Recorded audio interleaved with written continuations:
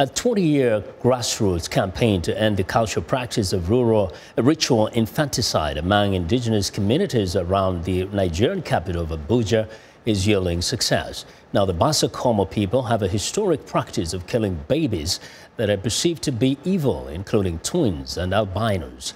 But efforts by a local missionary and the government have helped to reduce the number of killings. Chika Oduah reports. These babies were almost killed. They were all branded as evil by their communities. Twins, like Henrik and Henrika, are believed to be bad spirits. Multiple births are not acceptable to them. And when they deliver such children, they, they are poisoned with their local herbs. The child is abandoned in a room, not to be touched by anybody. Is already tagged an evil child. Nobody wants to nurse that baby, no food, no water. And they believe that leaving a child who lost his mother that is going to spread the evil that they are used to kill the mother among the villagers, so they don't want them to leave. Stephen Ajayi runs this rescue center in the outskirts of Abuja. It's part of his work as a Christian missionary. This place has become a shelter for so called evil children. Albinos, twins, triplets, and even babies whose upper teeth appeared before the lower set of teeth are all at risk.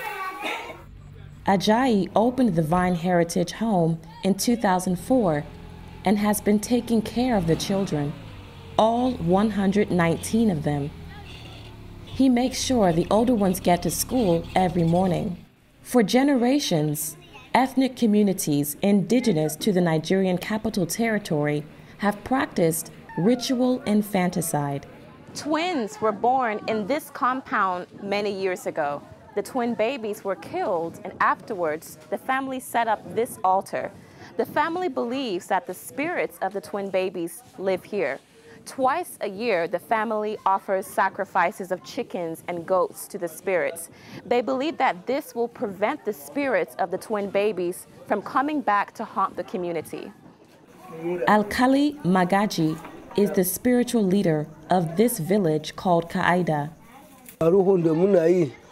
Our children believe that these children come from the evil one and no one wants it. We have a god we call Otachi and we offer the children to that god. We suspect those children to be witches or wizards. That's why we eliminate them.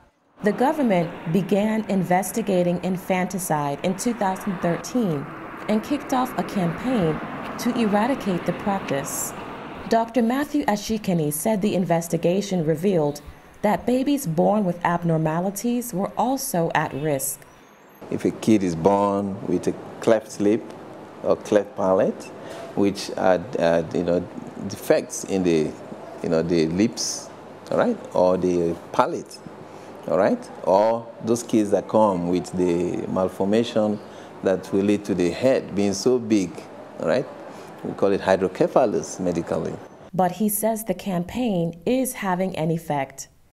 Infanticide is on the decline. Aisha Ayuba gave birth to twins this year.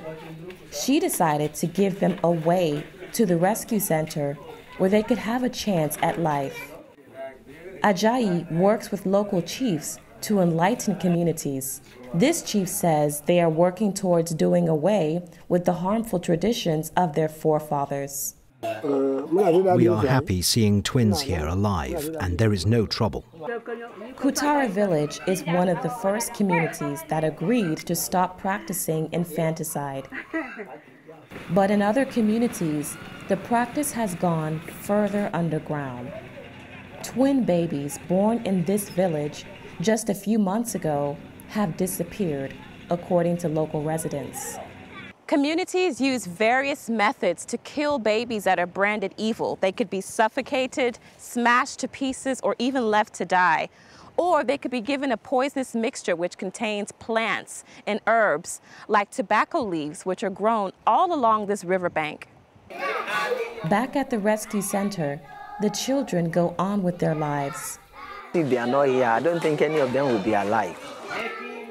These children don't know if they will ever see their parents again or even visit their native communities, but they do know that they are alive. Chika Oduah for VOA News in the Nigerian Capital Territory.